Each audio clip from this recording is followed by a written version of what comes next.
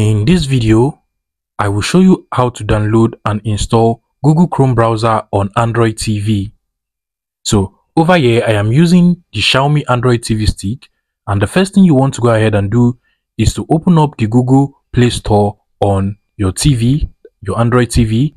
So just go ahead and open up the Google Play Store and on the top search bar, you want to search for the app known as Downloader. You can basically see it here because it is one of the most popular apps. So just go ahead and download and install this app on your Android TV. You can see that mine is actually installed already.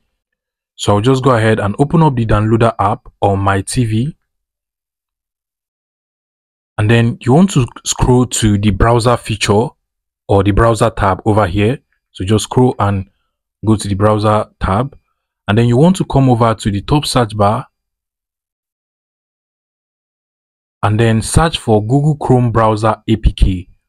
Now once you're done, you want to go ahead and click on the search button and you're going to be taken to this web page that contains some websites you can actually download the Google Chrome browser APK into your Android TV. Now what you just want to do is to scroll down until you find this website that is Android APK free.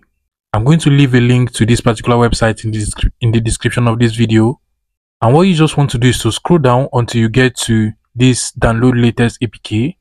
Click on it. And then you just want to come here and close these ads. And you can see that the Google Chrome browser is now installing into our Android TV.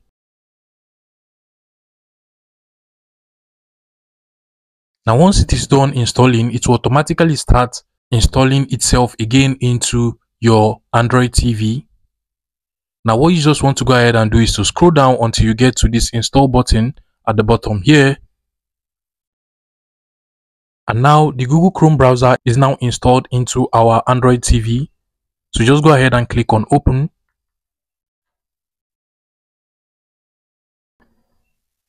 And now you just want to go ahead and select whether you want to continue with your email account which is already registered with your Android TV in my case, I'll just go with my email account. Then you also want to go ahead and click on yes, I am in.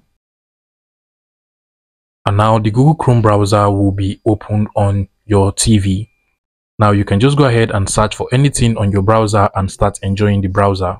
But just before we end this video, if you find out that the APK we downloaded from the Android free APKs website is not good enough or you're having some issue issues downloading it into your Android TV, then you probably want to try downloading the APK from any other website you can find online. Basically, you just want to make sure that you get the latest APK of Google Chrome browser and then you can just follow up with other step-by-step -step process I have mentioned in this particular video. So basically that will be all on today's video guys. If this video was helpful, please make sure you smash that like button and subscribe to this YouTube channel for more interesting tech tips like this one.